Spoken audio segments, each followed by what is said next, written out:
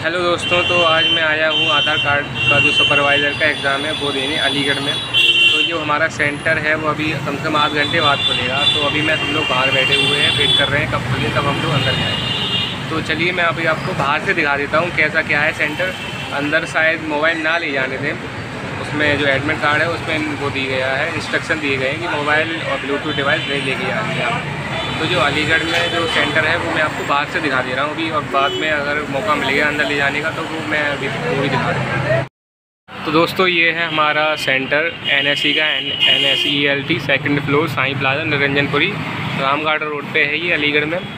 तो थोड़ा सा मैं जूम करके दिखा दे रहा हूँ आप लोगों को ये कैसा क्या है।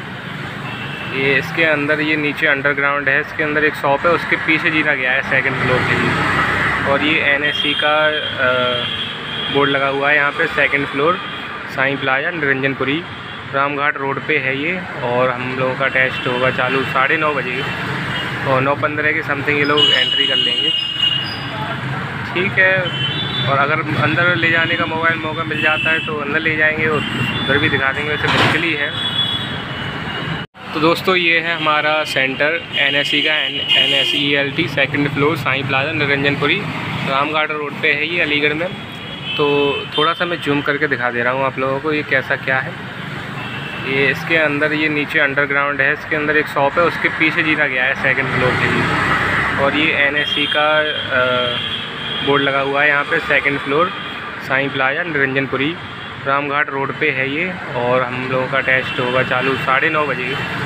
और नौ पंद्रह के समथिंग ये लोग एंट्री कर लेंगे। ठीक है।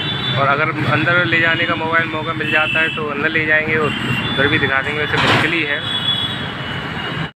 तो दोस्तों, मैंने कहा था मैं आप लोगों को अंदर लेके जाऊँगा, पर लेकिन नहीं लेके जा पाया क्योंकि मोबाइल जमा कर लिया उन लोगों ने और सही थे टीचर्स वगैरह सब बढ़िया था और पास भी हो गया मैं पहली बार में और मुझसे काफ़ी बड़े बड़े लोग थे एज में जो पहले से भी यानी हैं जो सर्विस लेना चाहते थे मतलब सुपरवाइज़र की मिले मुझे। और सब बढ़िया रहा। पहली बार में ही मैं पास हो गया। एक थे, भैया थे, जो पहले एक बार फेल हो चुके थे, वो दोबारा ट्राई कर रहे थे तो मैं होपलेस हो गया। मैंने कहा शायद मेरा नहीं होगा पर लेकिन मैं पास हो गया फिर भी।